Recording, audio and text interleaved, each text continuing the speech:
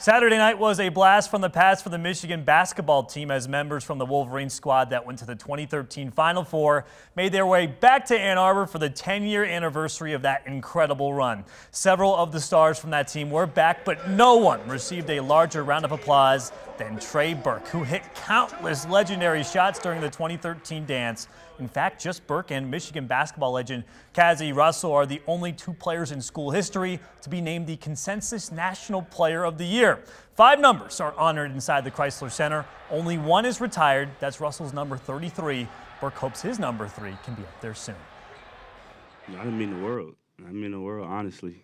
Um, that's something you dream about as a kid. I, I, you know, growing up, I loved college basketball. You know, I watched college basketball. I was one of those kids that was running around with a little rubber basketball, dreaming to, you know, make big shots. So just to have something, you know, and to leave a legacy on something like that, as big as that, at such a great university as Michigan, that would be great for me.